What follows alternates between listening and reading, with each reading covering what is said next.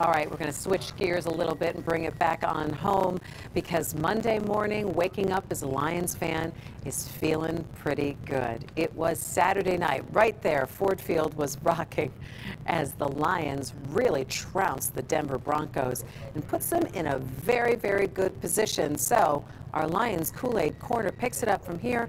They're plotting the playoffs now.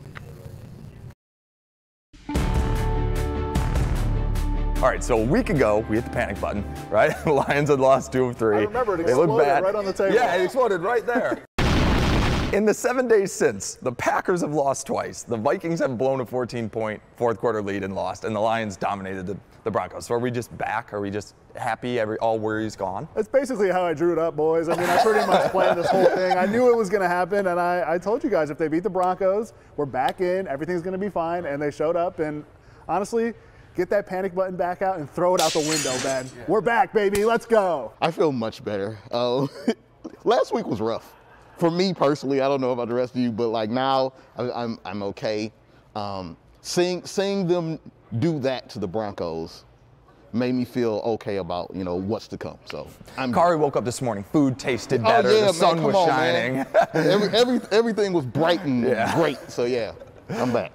I mean, I never thought they were going to blow the division, but I'm still worried about that first playoff game and if it's the Rams that come in here. However, I feel 100% better about the defense. It, not that they would have ever taken my advice. My wild theory was that, you know, let's just start throwing. First of all, they changed, shook the lineup up, which made a difference too. Glad to see they noticed that was a problem and then just started taking a few more chances. One negative play in the middle of a drive can basically derail that drive, and it happened over and over to the Broncos. One sack, one tackle for loss. It was great to see them take chances on D and shake it up.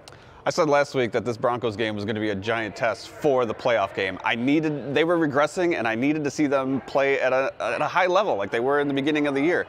I needed to see that with an electric crowd, that defense could rise to the occasion. Otherwise, I would have had no confidence going into a playoff game. And uh, they, they rose to the occasion. What is it with them playing night games? I hope our playoff game is at night because right. they just smoke people at night.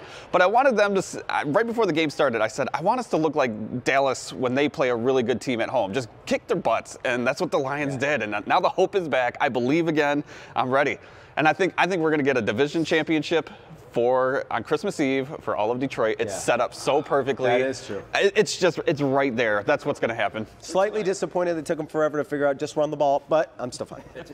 Tonight, if the Eagles win, the Lions clinch playoff spot.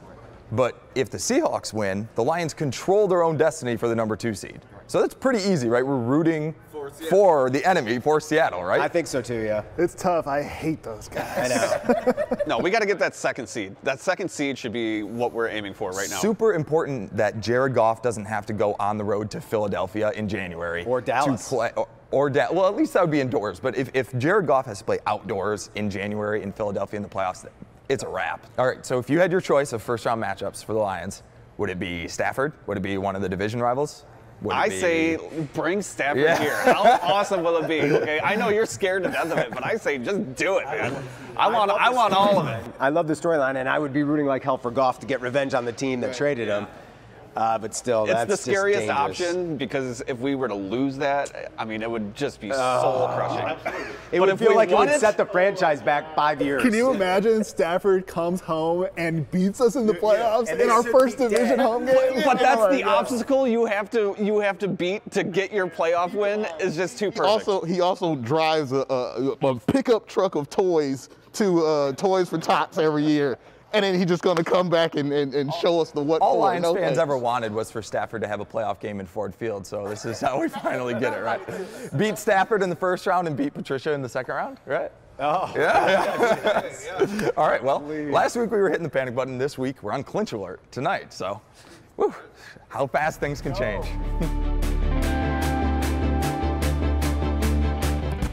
Oh, yeah, throwing the panic out the window. Of course, the Lions are taking on the Vikings at Minnesota on Christmas Eve, 1 p.m. Something to do with the whole family.